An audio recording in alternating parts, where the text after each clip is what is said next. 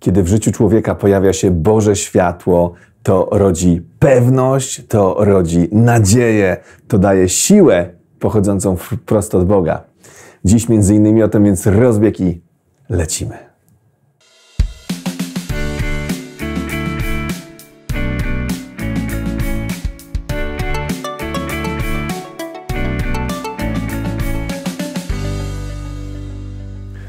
Frajda życia z Bogiem, słowo daje. Dziś w wersji espresso, jednowątkowo, krótko i na temat. Kontynuujemy rozważania na temat światłości, bo Chrystus jest światłem. Bóg jest zainteresowany tym, żeby rozpraszać mroki grzechu, opresji, depresji, tego, co niefajne, tego, co nieboże, tego, czego Bóg nie zaplanował dla życia człowieka. I dziś skupimy się na Psalmie 27, który zaczyna się od słów: Pan moim światłem i zbawieniem moim. Kogóż mam się lękać? Pan obroną mojego życia, przed kim mam się trwożyć? Krótki werset, ale jakże kluczowy, dlatego że zawiera w sobie te wszystkie elementy, które decydują o tym, kim jest Bóg w Twoim życiu. Pan moim światłem i zbawieniem moim zbawieniem, czyli moim ratunkiem, moim uzdrowieniem, moim wyzwoleniem, moim odkupieniem, tym, który przywraca mi zdolność zdrowego myślenia, tym, który składa mnie w całość. To wszystko wiąże się z, ze słowem, e, które tłumaczone jest jako, jako zbawienie, jako ratunek. Więc to Pan, Jego osoba, ale my chyba czasami, mogę mówić o sobie, bo to każdy musi powiedzieć coś o swoim życiu. Mm, może mamy taką tendencję, żeby Boga trzymać gdzieś z boku, a tylko korzystać z Jego apteczki, czyli żyć po swojemu, a korzystać tylko z tych fajnych rzeczy, które On ma dla nas ratunkowo, gdy nam nie wyjdzie w moim życiu.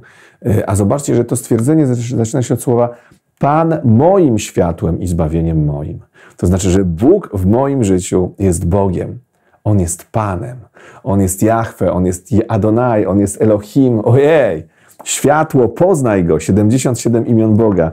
Cały czas żyję tym tematem i zachwycam się, jakiego mam Boga, który przebacza, który jest dobry i prawy, który jest Bogiem najwyższym, który uzdrawia, który jest moją niezmierną radością, który odmieni mój los, który rozraduje się śpiewając pieśni nade mną i tak dalej, i tak dalej. Pan moim światłem i zbawieniem moim. I teraz, jeżeli Bóg jest Twoim Bogiem, to zobacz, jakie są tego konsekwencje, tego wyznania. Pan moim światłem i zbawieniem moim, kogo mam się lękać? Jeżeli w moim życiu jest Boże światło, to kogo mam się lękać? Przed kim mam czuć trwogę?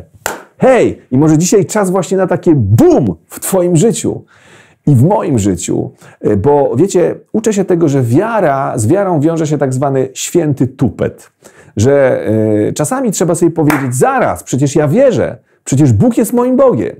Dlaczego ja pozwalam, żeby ogarniały mnie ciemności, depresja, jakieś złe informacje, jakaś y, handra, jakieś mroczne, niefajne klimaty? Zaraz!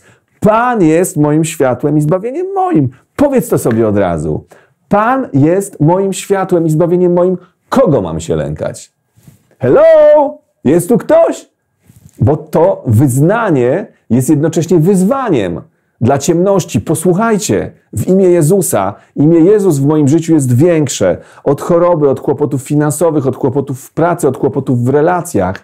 Imię Jezus jest większe, światło Pana jest większe. Kiedy człowiek idzie w ciemnościach i ma światło, to nie boi się, bo dzikie zwierzęta uciekają, e, jakieś e, gady, robactwo ucieka przed światłem. Bo Pan jest moim światłem i zbawieniem moim. Ciekawe, że tu psalmista zaczyna od obrazu światła i po nim następuje ratunek. E, przypomina mi się tutaj oczywiście fragment z listu do Rzymian, który mówi w ósmym rozdziale: Jeśli Bóg z nami, któż przeciwko nam? On, który nawet własnego syna nie oszczędził, ale go za nas wszystkich wydał, jakże miałby wraz z nim i wszystkiego nam nie darować. Więc Pan moim światłem i zbawieniem moim, kogo mam się lękać? Pan obroną mego życia, przed kim mam się trwożyć?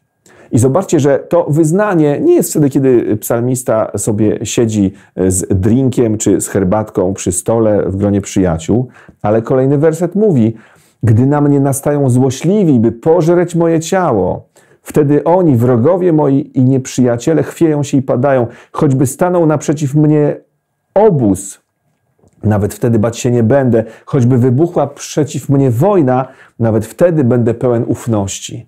Czyli przylgnięcie do Bożego światła, świadomość Bożego światła czyni psalmistę niezwyciężonym w Chrystusie, w Bogu.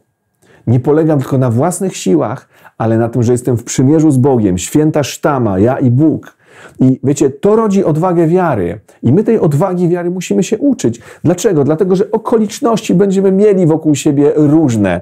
Tak czy owak, tak czy siak.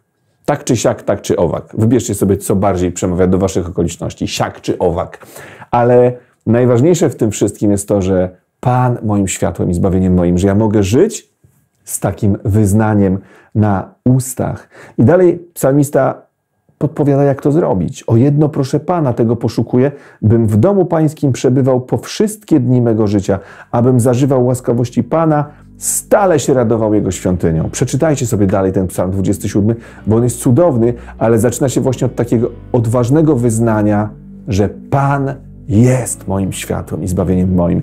I to jest nasz poziom, z którego startujemy rozbieg i lecimy w każdy dzień, bo Chrystus w nas jest zwycięzcą, a tym, co zwycięża świat, jak mówi pierwszy list Jana, jest nasza wiara. Pomóż nam Duchu Święty, niech tak się stanie. Frajda życia z Bogiem. Tyle na dziś. Jeśli podobało Ci się to nagranie, wyraź aprobatę, zostaw polubienie, komentarz i udostępnij to nagranie. Niech się niesie dobra wieść o frajdzie życia z Bogiem. Do zobaczenia przy kolejnej okazji.